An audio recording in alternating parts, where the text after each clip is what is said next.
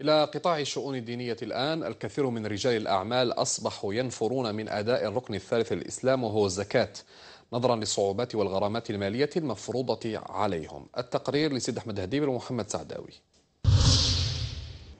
يواجه رجال الأعمال وأصحاب الشركات صعوبة كبيرة في إخراج زكاة أموالهم. حيث يصطدمون بإشكالية ذكر الجهة المستقبلة للأموال عند التصريح بإخراجها من المؤسسة خاصة وأن من تدفع لهم الزكاة ليسوا إلا مواطنين بسطاء وفقراء ولا يمثلون جهة معنية.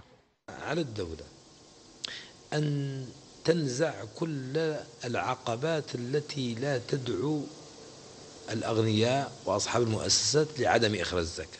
تنزع عنه الضرائب التي هي من حق الدولة عليه ضف إلى ذلك في حال إخراج الزكاة والتصريح بها يخضع مخرجها لضريبة عليها فلا تمييز بينها وبين الأموال الموجهة لشراء سلع على سبيل المثال مما جعل كثيرا من رجال الأعمال ينفرون من أداء الركن الثالث للإسلام. بعض الشركات آه، لازم لهم البيان تاع تاع الدراهم اللي زكاو باش تكون يعني في la comptabilité تاعو تكون يعني صحيحة. يعني هي كاع الحل الواحد آه، لازم الدولة آه، تقبل les justifications تسمى la justification comme quoi une partie تاع الدراهم تاع le montant هذاك راح للزكاة كي صرا dédu déductible تسمى déductible في les impôts تشاريع وقوانين تتسبب في تعطيل رجال الأعمال عن إخراج زكاتهم مما يجعل إعادة النظر فيها أكثر من لازمة.